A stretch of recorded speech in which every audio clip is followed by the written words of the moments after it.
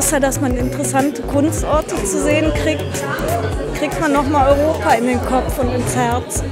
The bus is just taking us. We're going different places and uh, we're just seeing different exhibitions. Eh, Het is een leuk concept. Het is een regio en je gaat met zeer verschillende mensen, allerhande steden. Dus het gaat meer om het verhaal, praten over kunst. Et puis on a différents points de vue aussi sur ce qu'on voit et euh, ce qu'on ressent soi-même par rapport euh, à l'art qui est présenté.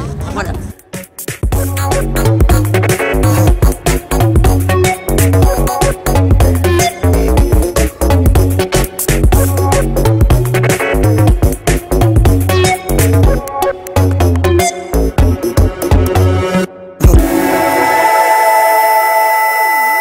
Oh.